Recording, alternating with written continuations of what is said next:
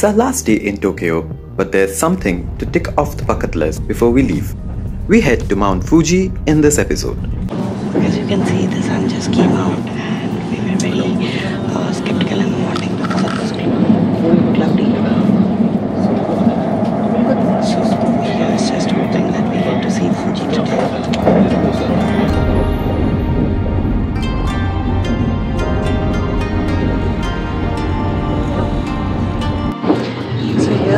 what you don't reserve a seat on the Fuji excursion train.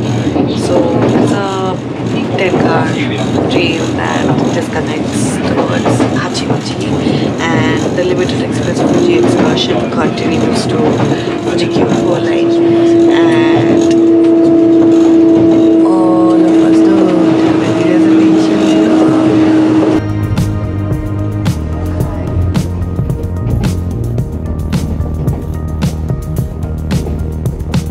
Mount Fuji or Fujisan is located 100 kilometers southwest of Tokyo. A subject of marvel, inspiration, and awe for generations, a visit to Japan is incomplete without going to Fuji. To visit for a day trip, you can either go for a Hakone Day Pass or a day tour around the Fuji Five Lakes area. Or you can choose to spend it your way, like we did. The views of Mount Fuji are usually the clearest in the mornings and the late afternoons. So we were in for a rather dull day at Kawaguchiko because the mountain was already shrouded in clouds. To make it a fun day trip, we rented a couple of bicycles outside the station and decided to go for a full round around the lake.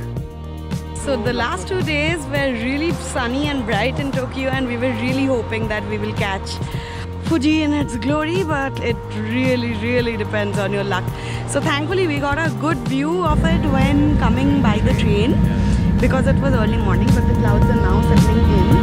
So here we are exploring Kawaguchiko. For the first timer coming here, it might be a good idea to spend a night at any of the Fuji 5 lakes. Kawaguchiko itself has onsens, resorts, and hotels to choose from and is very easy to reach by a train.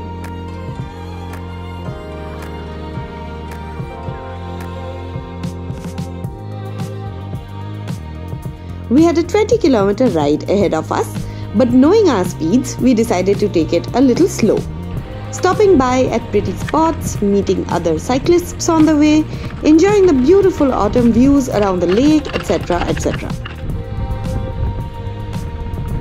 Hey guys, so we are the Moon Chasers and we are traveling through Japan On cycle. on cycle.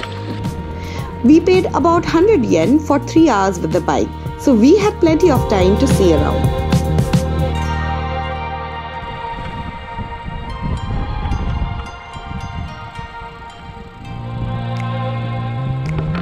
On the northern shore of the lake, there are museums and parks to visit. But what brought us here was the Momiji or the famous Maple Corridor. View of Fuji or not, you gotta love this spot, it's incredibly romantic.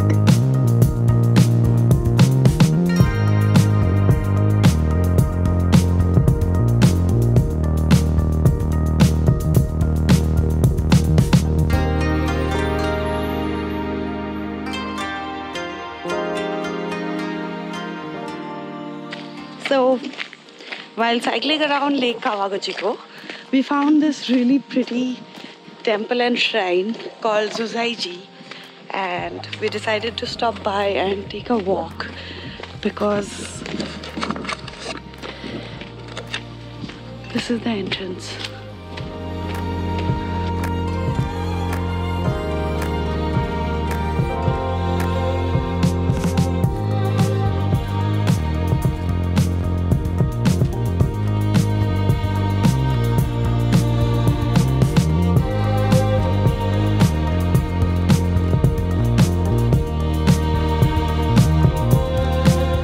Joy of stumbling upon a rare find filled us as we entered the temple premises.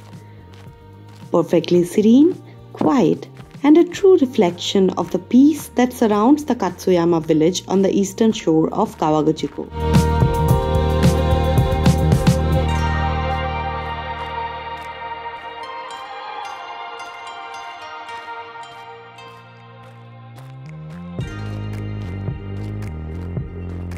The adjacent shrine is known as Fuji Omuro Sengen Shrine, just in case if you would like to visit.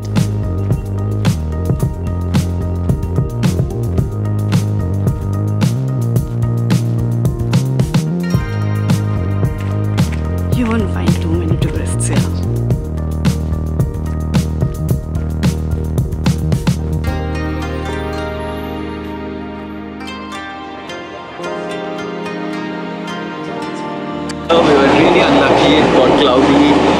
Fuji just kept peeking through the clouds once a while. But we had fun with the cycles. We can see! See, that's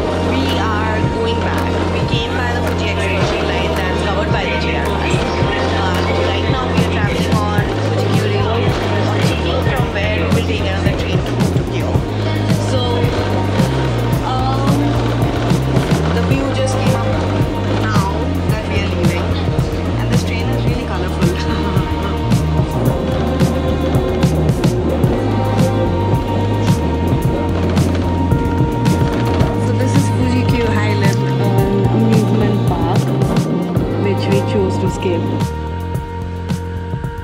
In the next episode, we travel to the farthest edge of Honshu Island and back in time. Subscribe to our channel to visit Hiroshima with the Moonchasers in our next vlog.